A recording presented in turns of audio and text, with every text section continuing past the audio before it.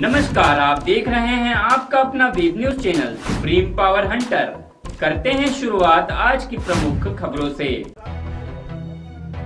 खबर मध्य प्रदेश के जबलपुर से। कान्हा टाइगर रिज़र्व में घायल हुए मादा शावक को इलाज के लिए आज वेटनरी अस्पताल लाया गया। जहाँ डॉक्टरों की टीम ने करीब पाँच घंटे की अथक मेहनत से शावक का सफल ऑपरेशन किया। मादा शावक को पैर में चोट लगी थी, जिसका इलाज कर शावक का पैर काटा गया। डॉक्टरों को आशंका थी कि अगर समय रहते शावक का पैर नहीं काटा गया तो उसके पूरे शरीर में जहर फैल सकता है। कान्हा टाइगर रिज़र्व प्रबंधन के मुताबिक शावक जब मुक्की रेंज में अपने भाई बहनों के साथ खेल रहा था। तभी उसका पैर लकड़ियों के बीच फंस गया, जिसके चलते वह घायल हो गया था।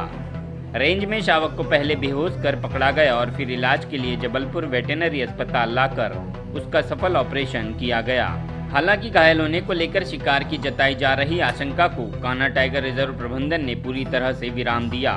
कान्हा पार्क में पदस्थ डिप्टी रेंजर अंजना की माने तो जैसे ही उन्हें सूचना मिली कि एक शावक मुक्की रेंज के पास घायल हो गया है और दर्द से करा रहा है, वैसे ही टीम वहाँ पहुँची और सुरक्षित लकड़ियों से निकालकर उसे इलाज के लिए जबलपुर लाया गया। जबलपुर से supreme power hunter news bureau की रिपोर्ट। ये जो शावक है, ये कान्हा के मुखी रेंज से आया है। और ये अपने जो भाई बहन हैं, उनके साथ खेलते खेलते लकड़ियों के बीच में पेड़ के बीच में फंस गया था उसकी बहन। और जिसकी वजह से यहाँ पे उसको ऑपरेट करना पड़ा और पैर काटना पड़ा।